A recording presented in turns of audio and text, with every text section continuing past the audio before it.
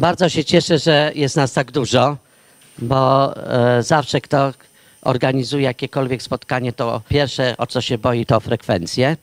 Spotykamy się dzisiaj na seminarium, myślę, że bardzo ważne, bo seminarium poświęcone e, ludziom z e, spektrum autyzmu.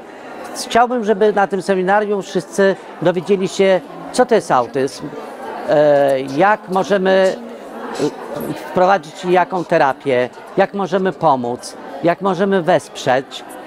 I to od urodzenia po wejście w zawód. Bardzo ważna jest praca dla autystów, bardzo ważne jest wsparcie dla rodzin autystycznych, które żyją z tym spektrum poprzez swoje dzieci.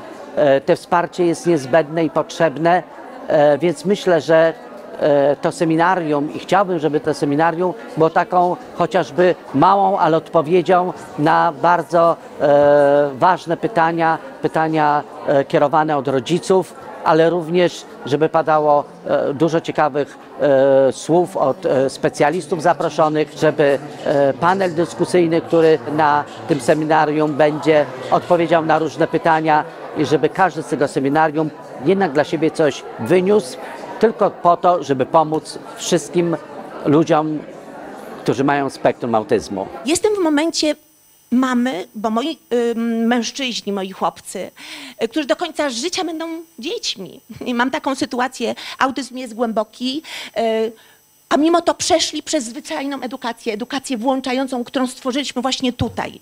Powtórzę to jeszcze raz w tym miejscu, to jest wyjątkowe miejsce, absolutnie. Powiat Legionowski wspiera i współfinansuje dzisiejsze seminarium, ponieważ zawsze jesteśmy blisko ludzi, zawsze jesteśmy blisko mieszkańców powiatu legionowskiego i zawsze jesteśmy tam, gdzie dzieją się rzeczy ważne i ciekawe dla naszych mieszkańców. Autor Alicji w Krainie Czarów też był autystykiem. E, ja chciałabym zaprezentować fragment e, rozmowy Alicji z królową. E, ale, I myślę, że uczynię to dosłownie. Alicja roześmiała się. Nie ma celu próbować, powiedziała. Nikt nie może uwierzyć w rzeczy niemożliwe. Niewiele masz prawy, powiedziała królowa. Gdy byłam w Twoim wieku, wprawiałam się co dnia przez pół godziny.